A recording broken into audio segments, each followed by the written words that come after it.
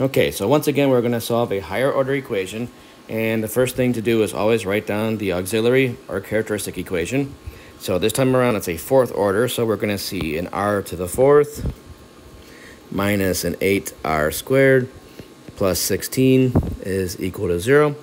And you could graph this on your calculator, but oftentimes you can factor these and factor them by inspection. This factors as an r squared minus 4 times an r squared minus 4 equals 0.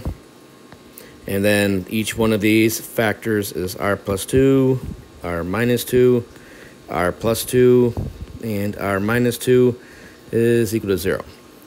So our r1 is negative 2, our r2 is 2, r3 is negative 2, and r4 is once again positive 2.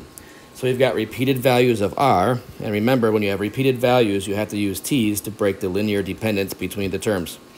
So our general solution is going to have a c1 e to the negative 2t and a c2 e to the positive 2t. But then for our third term, we're going to have a c3 t e to the negative 2t. And then for the fourth term, c4 t e to the positive 2t. And again, these four terms here are all linearly independent of each other.